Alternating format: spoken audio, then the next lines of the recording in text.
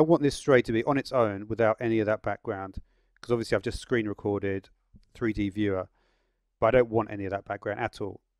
Just want the stray. So there's two steps to actually achieve this effect. And let's start with the first one. So the first thing we're going to want to do is we're going to go into keying and we're going to choose, I'm going to choose an eight point garbage matte. So what this will do is it will let me select an area and then we can do the RGB difference effect, which will make it much stronger. You could do the RGB difference effect initially, but it's better to do it this way. So you can see when I click on it, we get these little corners here. So what you basically want to do is you just want to drag the corners around.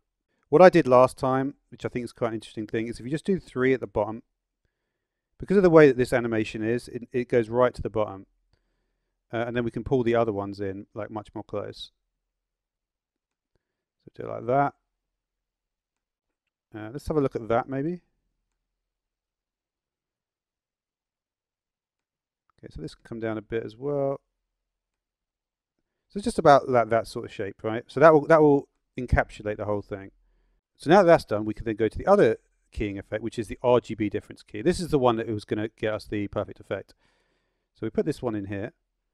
And you see it's not doesn't look quite perfect yet. What we're going to do is going to put smoothing to high. We're going to turn the similarity to about 25%, I think it was.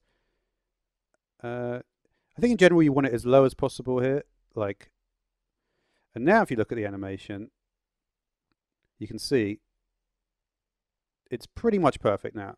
And so what this means, essentially, is that say we wanted to have a matte effect underneath, so we can put our we can put our color matte, do whatever color we like, and then you can just you can just do whatever you want from it from this point. We've got that straight, doing animation, really nice quality. So yeah, pretty simple thing to do, but it's a pretty important thing to do in video editing. So I thought I would show that today. So thanks for watching.